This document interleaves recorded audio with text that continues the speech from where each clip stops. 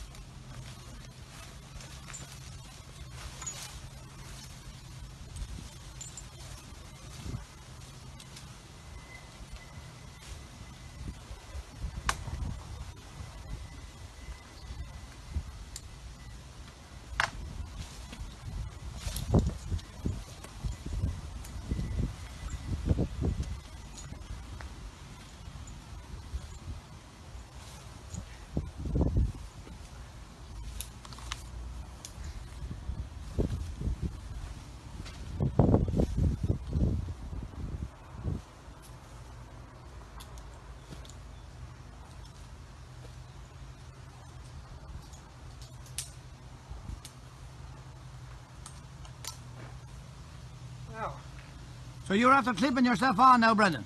yeah, and I'm going to throw the rope now Right? up to my next branch. Right?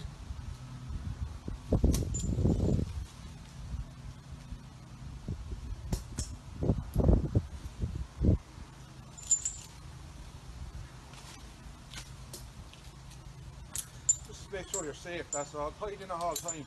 Yeah.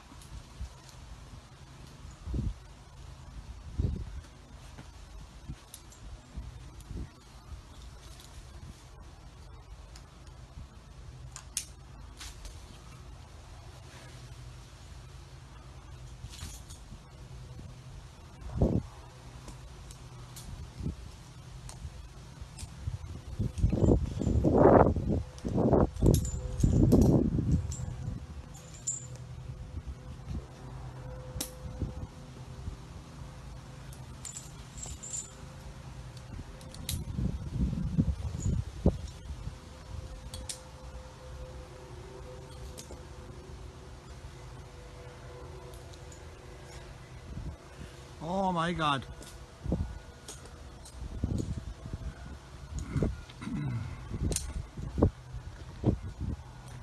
Now, we're nearly there now. I'm going to put this lad on the tree now to protect the bark. Because when you're coming down on the rope, it causes a lot of friction. All right. Damage the cambium saver of the tree. Yeah. Which basically is what gives it life, what sucks up the water. So, putting that on it there now, the rope up and cutting into the bark. And that's for when you're coming down. Yeah. Now that's us now, we're ready to work.